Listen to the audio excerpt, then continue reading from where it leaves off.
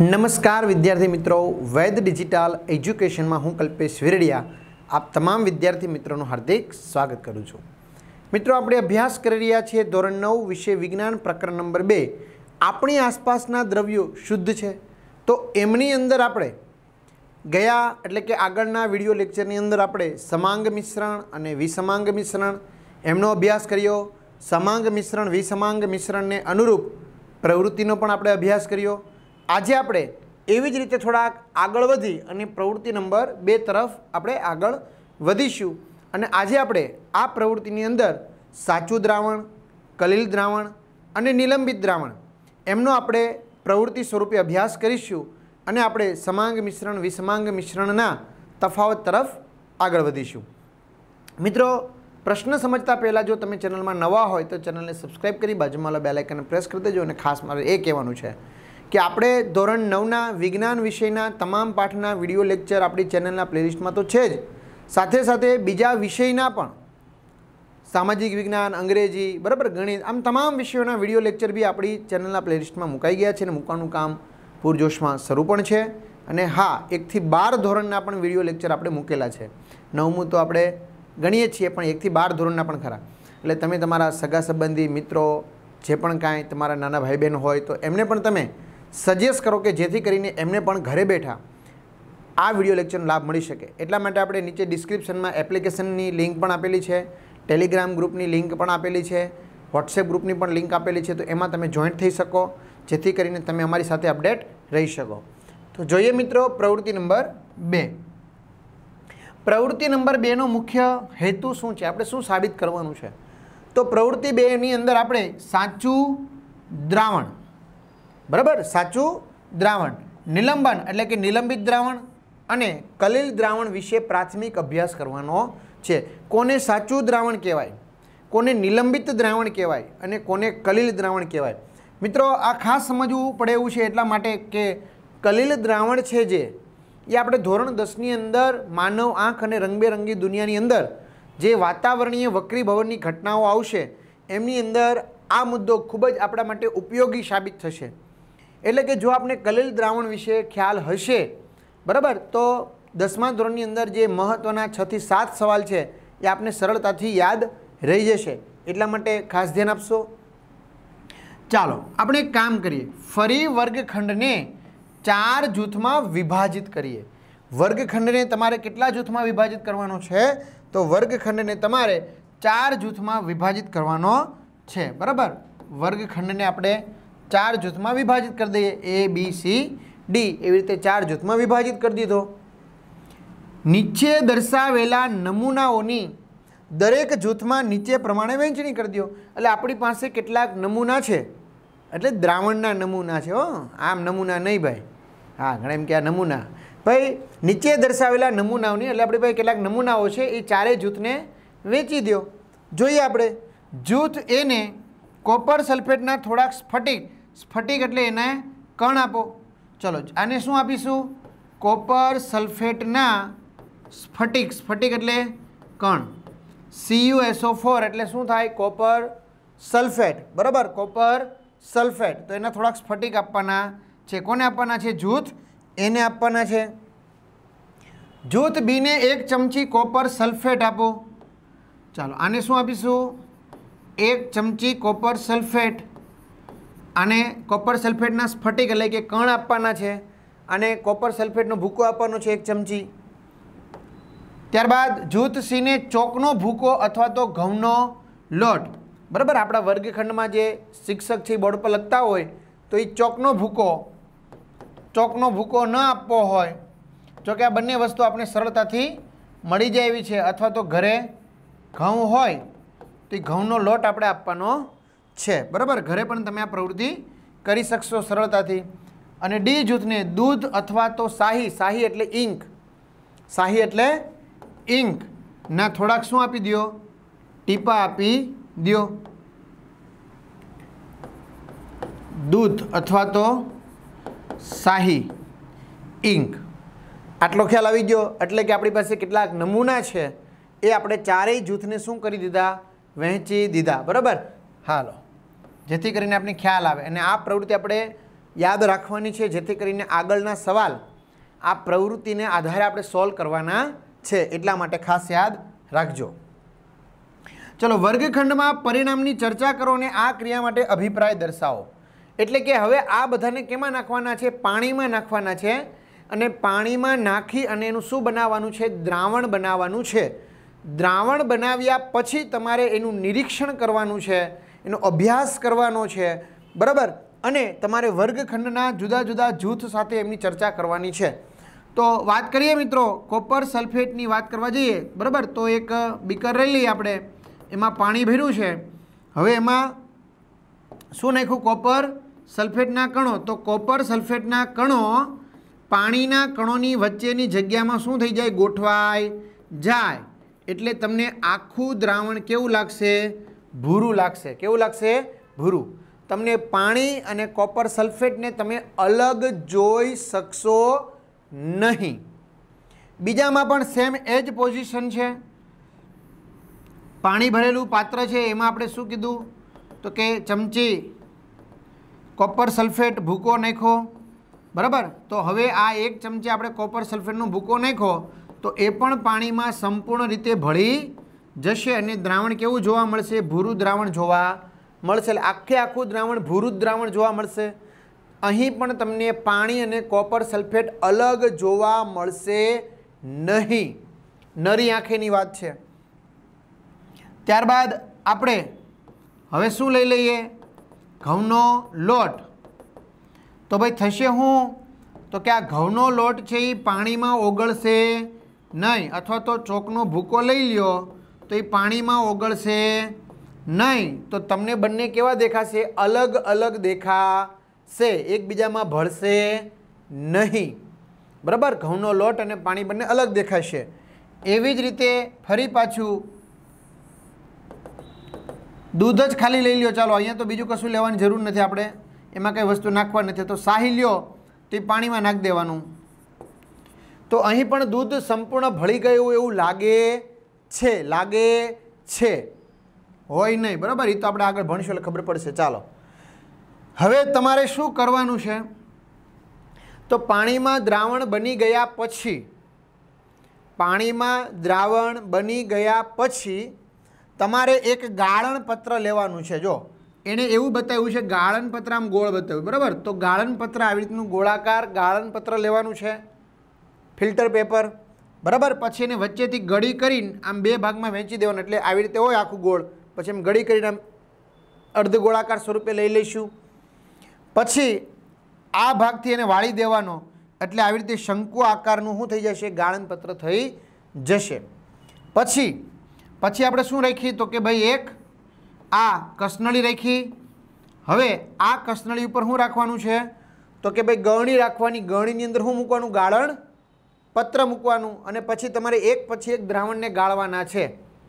એકને એક જ ગાળણ પત્રમાં નહીં, જુદા જુદા ચાર ગાળણ પત્રમાં તમારે એક પછી એક દ્રાવણને ગાળવાના છે.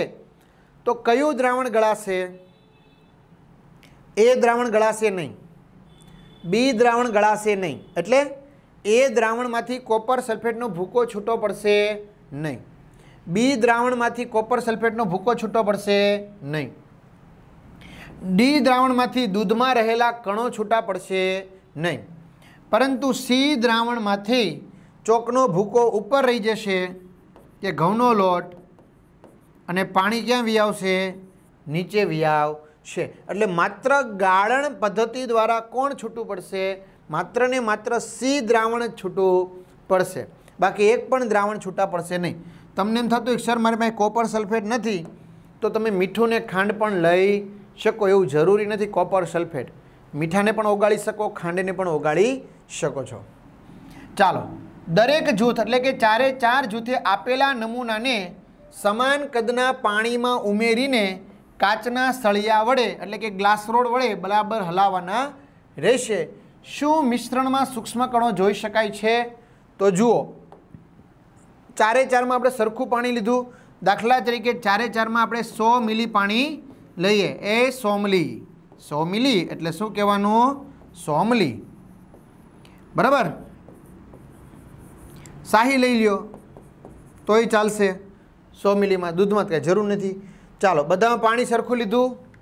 આમાં હું નાખ્યું કોપર સલ્ફેટના સ્ફટિક, એક ચમચી કોપર સલ્ફેટ, ચોકનો ભૂકો, દૂધ અથવા તો શાહી ઇંક આપણે ઉમેરી છે. પાણીમાં ઉમેરી. બરાબર? ગ્લા કાચના સળિયા વડે શું કરો એને? ગ્લાસ રોડ વડે હલાવો. બરાબર? કાચનો સળિયો છે, એની મદદથી એને બરાબર હલાવો. જુઓ તો કોની અંદર સૂક્ષ્મ કણો દેખાય છે? તો માત્ર સી દ્રાવણમાં જ સૂક્ષ્મ કણો જોવા મળશે. બાકી ક્યાંય જોવા મળશે નહીં. અહીંયા કોપર સલ્ફેટના કણો જોવા મળશે નહીં. દૂધના કણો પણ જોવા મળશે નહીં. એટલે કે છે જો માત્ર સી જૂથના વિદ્યાર્થીઓના મિશ્રણમાં જ સૂક્ષ્મ કણો જોઈ શકાય છે. માત્ર ને માત્ર કયા? જૂથના, તો કે સી જૂથના વિદ્યાર્થીઓના મિશ્રણમાં જ શું જોઈ શકાય છે? સૂક્ષ્મ કણો. બાકી કોઈની પાસે સૂક્ષ્મ કણો જોઈ શકાતા નથી. આગળ. હવે ટોર્ચમાંથી પ્રકાશના કિરણો મિશ્રણ ધરાવતા બીકરમાંથી આરપાર પસાર કરો અને તેનું નિરીક્ષણ કરો. શું પ્રકાશના કિરણોનો માર્ગ જોઈ શકાય છે? તો જુઓ. કઈ રીતે મિત્રો આપણે વાત કરવા માગે છે? તો આપણે વાત એવી રીતે કરવા માગે છે કે ભાઈ તમારે એક શું લેવાની છે? ટોર્ચ લેવાની છે, બરાબર? તમારે શું લેવાની છે? એક ટોર્ચ. તો આ ટોર્ચમાંથી તમારે શું આપાત કરવાનો છે? પ્રકાશ આપાત કરવાનો છે. તો પ્રકાશનો માર્ગ જોઈ શકાય છે? કોની અંદરથી? દ્રાવણની અંદરથી. તો પહેલા જૂથમાં પ્રકાશનો માર્ગ નહીં જોઈ શકાય. બીજાની અંદર, તો બીજા દ્રાવણમાં પણ પ્રકાશનો માર્ગ નહીં દેખાય. ત્રીજા દ્રાવણમાં, તો કે હા, જો તમે જોઈ શકો છો પ્રકાશનો માર્ગ દેખાય. છે. ચોથા દ્રાવણમાં તો કે હા, પ્રકાશનો માર્ગ દેખાય છે. તો સી અને ડી દ્રાવણમાં પ્રકાશનો માર્ગ શું કરી શકાય છે? જોઈ શકાય છે. તો જૂથ સી અને ડીના વિદ્યાર્થીઓના મિશ્રણમાં તમારે આમ ટોર્ચ ટોર્ચમાંથી પ્રકાશ આપાત કરવાનો, બરાબર? તો વિદ્યાર્થીઓના મિશ્રણમાં પ્રકાશના કિરણોનો માર્ગ તમે શું કરી શકો છો? સરળતાથી જોઈ શકો છો. ત્યારબાદ થોડાક સમય માટે મિશ્રણને ખલેલ પહોંચાડ્યા વગર, એટલે કે હલાવ્યા વગર ડિસ્ટર્બ કર્યા વગર મૂકી રાખો.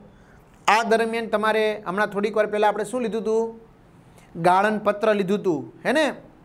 ફિલ્ટર પેપર જેને આપણે કહેતા હતા. હં. પછી કસનળી, પછી ગળણી.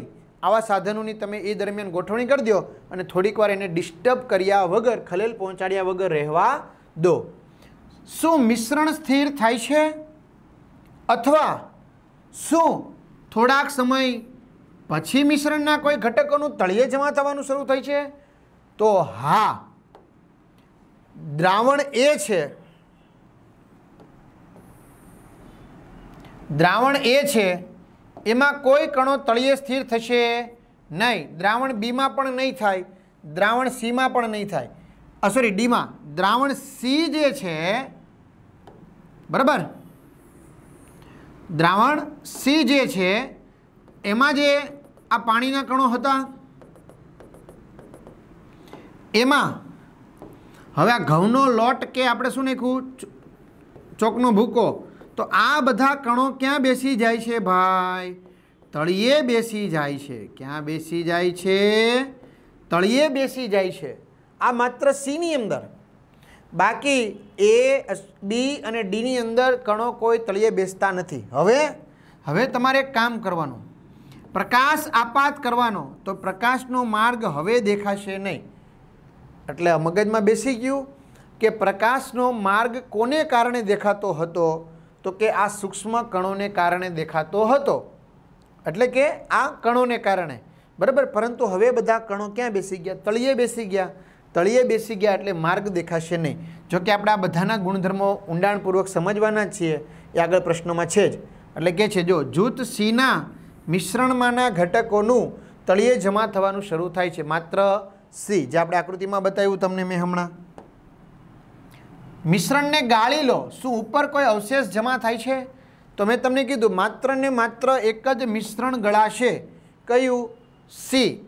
આમાંથી ઘઉંનો લોટ અને પાણી બંને છૂટું પડશે. એમાંથી કોપર સલ્ફેટ અને પાણી છૂટું નહીં પડે. બરાબર? બીમાંથી પણ કોપર સલ્ફેટ પાણી છૂટું નહીં પડે.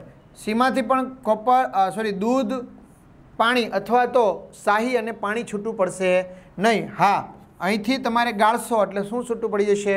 પાણી અને આ ગૌનો લોટ છૂટો પડી જશે. કારણ કે તે અદ્રાવ્ય છે. બરાબર? અને એના કણો મોટા પણ છે એટલે આપણે નરી આંખે પણ દેખાય છે. તો જો કે છે ને, જૂથ સીના મિશ્રણમાં અવશેષ જમા થશે. એટલે કે ઘઉંનો લોટ જે છે કે ચૂનાનો ભૂકો, એ છૂટો પડશે પાણીમાંથી. તો આના પરથી શું નિષ્કર્ષ આપણે તારવ્યું? આના પરથી શું સાબિત કર્યું આપણે? આ હે, આ પ્રયોગ પરથી. હે, પ્રવૃત્તિ છે ભાઈ બહુ અગત્યની છે. જો ભાઈ, ઘણા વિદ્યાર્થી મિત્રો પ્રવૃત્તિને ઇગ્નોર કરતા હોય છે. અને ઘણી શાળાની અંદર કે કોચિંગ ક્લાસની અંદર પ્રવૃત્તિને ધ્યાન આપવામાં આવતું હોતું નથી, એને ઇગ્નોર કરવામાં આવતી હોય છે. પણ મિત્રો, ખાસ યાદ રહે, પ્રવૃત્તિ છે ને એ મેઇન વસ્તુ છે. બરાબર? પ્રવૃત્તિ છે એ સમજવી જ પડે. પ્રવૃત્તિ જો ન સમજીએ, તો આગળનો કન્ટેન્ટ જે છે આપણે ન સમજાય. કારણ કે આપને ખ્યાલ છે કે આ અભ્યાસક્રમ બનાવનાર છે એ કોઈ જેવી તેવી વ્યક્તિ હોતી નથી. બરાબર? એ ઉચ્ચ લેવલની વ્યક્તિ હોય છે. એટલે એને ખ્યાલ હોય છે કે ભાઈ કેવું શિક્ષણ આપવામાં આવે તો બાળકો માટે વધુ હિતાવહ રહે. તો આ પ્રવૃત્તિમય શિક્ષણ છે એ બાળકો માટે વધારે હિતામ રહે છે. એટલે કે તમે આ પ્રવૃત્તિ બરાબર જો સમજી જાઓ, તો આગળ તમને સાચા દ્રાવણ કલિલ દ્રાવણ, નિલંબિત દ્રાવણ તરત જ યાદ રહી જાય છે. ખાલી એક પ્રશ્ન યાદ રાખવાથી, પ્રવૃત્તિ યાદ રાખવાથી. બરાબર? એટલા માટે આપણે પ્રવૃત્તિને ખાસ જોવાની. તો જૂથ એ અને બીને સાચું દ્રાવણ મેળવ્યું કેમ સાચું દ્રાવણ? તો આપણે એમાં માર્કિંગ કરીએ છીએ, જો. એમાં પ્રકાશનો માર્ગ દેખાતો નથી. ગાળવાથી એના કણો છૂટા પડતા નથી. નરી આંખે દેખાતા નથી. તો એ સાચું દ્રાવણ. ડી દ્રાવણ છે, એ કલીલ દ્રાવણ છે. હે? દૂધના કણો નરી આંખે દેખાતા નથી. પણ પ્રકાશ આપણે આપાત કરીએ છીએ તો પ્રકાશનો શું દેખાય છે ભાઈ? માર્ગ દેખાય છે. બરાબર ને? પ્રકાશનો માર્ગ દેખાય છે. તો આ કલીલ દ્રાવણ. ગાળવાથી છૂટા ન પડે. સી દ્રાવણ છે. એ કેવું છે? નિલંબિત દ્રાવણ. કેમ? તો કે ભાઈ એના કણો છે અદ્રાવ્ય છે એટલે નરી આંખે દેખાય છે, પ્રકાશનો માર્ગ પણ દેખાય છે અને થોડીક વાર એમને રહેવા દેતા કણો બધા ક્યાં બેસી જાય છે? તળિયે પણ બેસી જાય છે એટલે કે ગાળણ દ્વારા એને છૂટા પાડી શકાય છે. બરાબર? આગળ. હવે આપણે સમાંગ અને વિસમાંગ મિશ્રણ વચ્ચેના તફાવતના મુદ્દાની યાદી બનાવો. જો આપણે પરીક્ષામાં બે ગુણમાં પૂછાય તો બે મુદ્દા તો ફરજિયાત લખવાના જ. પણ ત્રણ ત્રણ મુદ્દા પણ આપણે લખીએ તો વધારે સારું રહે. કદાચ એકાદો આમ તેમ ખોટો પડી જાય, બરાબર ને? હારે ત્રણ ગુણમાં બી પૂછાઈ શકે. બે ગુણ, ત્રણ ગુણ. તો શું? સમાંગ મિશ્રણ અને વિસમાંગ મિશ્રણ. જો કે એમની આપણે સરસ મજાની પ્રવૃત્તિ જોઈ ગયા છે. એક સમાન સંગઠન સંગઠન એટલે બંધારણ ધરાવતું મિશ્રણને કહેવાય સમાંગ મિશ્રણ. દાખલા તરીકે ખાંડને તમે પાણીમાં નાખો તો ખાંડના કણો સમગ્ર પાણીમાં શું થઈ જાય? એક સરખી રીતે ફેલાઈ જાય. ક્યાંક વધારે જોડાઈ જાય ને ક્યાંક ઓછા પ્રમાણમાં ને ક્યાંક હોય જ નહીં એવું બને નહીં. મેં તમને બેસ્ટ ઉદાહરણ આપ્યું હતું કે લીંબ મહેમાન આવે ને આપણે શરબત બનાવીએ, દાખલા તરીકે આપણે પાંચ ગ્લાસ શરબત બનાવ્યું. પાણી હોય, મીઠું હોય, ખાંડ હોય, હે ને? પાણી, મીઠું, ખાંડ, લીંબુનો રસ. આટલી વસ્તુ હોય. તો એવું બને છે ક્યારેક એક મહેમાનને ખાડું ખાટું લાગે, એક મહેમાનને મોડું લાગે, ગળ્યું લાગે, એક મહેમાનને ખારું લાગે? એવું બને છે ક્યારેય? નહીં, બધાને એક સરખો જ સ્વાદ આવે, પાંચે પાંચ ગ્લાસમાં. તો એ શું છે? તો કે સમાંગ મિશ્રણ છે એ એક સરખા પ્રમાણમાં ફેલાય છે. તે અસમાન સંગઠન ધરાવતું મિશ્રણ છે. તેનું બંધારણ ચોક્કસ હોતું નથી. દાખલા તરીકે પાણી અને કેરોસીન તો બે એકબીજામાં ભળતા જ નથી. પાણી અને કેરોસીન એકબીજામાં ભળતા જ નથી. ભળતા નથી એટલે કેવું કહેવાય? વિષમાંગ, મિશ્રણ કહેવાય. ચાલો, તેના ભાગો ભૌતિક રીતે અલગ પડતા નથી. તમે શરબતને ગાળો, તેમાંથી લીંબુનો રસ, ખાંડ, મીઠું અલગ પડતા નથી. જ્યારે તેના ભાગો ભૌતિક રીતે અલગ પડે છે. દાખલા તરીકે કેરોસીન અને પાણી છે, તો આપણે ખબર છે, અથવા તો પાણી અને તેલ જે આપણે ભણ્યા હતા પાણી ક્યાં રહેશે? નીચે રહેશે, તેલ ક્યાં રહેશે? ઉપર રહેશે. તમારે બંનેને છૂટા પાડવા હોય તો તમે સરળતાથી છૂટા પાડી શકો છો. તો એના ભાગો ભૌતિક રીતે અલગ પડે છે. બે મુદ્દા થઈ ગયા. ત્રીજો મુદ્દો લખવો હોય તો, મિશ્ર થયા બાદ કોઈ એક જ ભૌતિક અવસ્થા ધરાવશે. હવે જો, તમે બરાબર સમજો. પાણી અને ખાંડ બે મિશ્ર થઈ ગયા. પાણી કેવું છે? પ્રવાહી છે નો ડાઉટ ખાંડ કેવું છે? ઘન છે. પણ એ હવે પાણી અને ખાંડ બંને ભેગા થઈને, પાણી અને ખાંડ ભેગા થઈને માત્ર શું લાગશે ખાલી? ખાંડનું દ્રાવણ, એટલે કે પાણી જ દેખાશે. ખાંડ પછી જોવા મળશે નહીં. એટલે એક જ ભૌતિક અવસ્થા છે. ઘન અને પ્રવાહી બે મિશ્ર થઈને ખાલી પ્રવાહી જોવા મળ્યું. અહીંયા મિશ્ર થયા બાદ બંને અલગ અલગ ભૌતિક અવસ્થા જાળવી રાખે. દાખલા તરીકે કેરોસીન અને મેં શું કીધું? પાણી. અથવા તો રેતી અને પાણી લઈ લ્યો, ચાલો. તો રેતી કેવો છે? ઘન. પાણી કેવું છે? પ્રવાહી તો એમનેમ રહેશે. તો એ વિસમાંગ ગમે એમ કરશે તો એ ભળશે નહીં. પાણી કેરોસીન લઈ લ્યો બે પ્રવાહી પોતાની અવસ્થા જાળવી રાખશે એમ. કોઈ પણ એક અવસ્થા નહીં ગુમાવે. ખાંડ અને પાણી જે આપણે ઉદાહરણ આપ્યું, મીઠું અને પાણી, સમાંગ, હવા, હવાની અંદર હાઇડ્રોજન, ઓક્સિજન, નાઇટ્રોજન વગેરે બધા વાયુઓ છે જ. એકબીજામાં ભળી જ ગયેલા છે. તમને મને કોઈને દેખાય છે અલગ અલગ ભાઈ? નહીં. સમાંગ. ચલો, આયોડિન અને આલ્કોહોલ. આયોડિન અને આલ્કોહોલનું મિશ્રણ જે આપણે ટિંચર આયોડિન કહીએ છીએ, તો એકબીજામાં સંપૂર્ણ ભળી જાય છે. તો આ બધા સમાંગના ઉદાહરણ છે. રેતી અને ખાંડ, ગમે એમ કરો, ભળે નહીં. મીઠું અને લાકડાનો વહેર વહેર એટલે ભૂકો. મીઠું અને સલ્ફર સલ્ફર પીળા રંગનું હોય, મીઠું સફેદ રંગનું હોય, સામાન્ય રીતે. પાણી અને તેલ. તો આ બધા કોના ઉદાહરણ છે? વિસમાંગના બરાબર? તો આવી રીતે તમને પરીક્ષામાં પૂછાય તો તમે સમાંગ કે વિસમાંગના મુદ્દા લખી શકો. છો? તો આ વિડીયોમાં, આ પ્રશ્નમાં આપણે આટલી માહિતી રાખીએ મિત્રો. વધુ માહિતી આપણે આવનારા વીડિયો લેક્ચરમાં મેળવીશું. ત્યાં સુધી રજા લઈએ. અસ્તુ, જય હિન્દ, જય ભારત.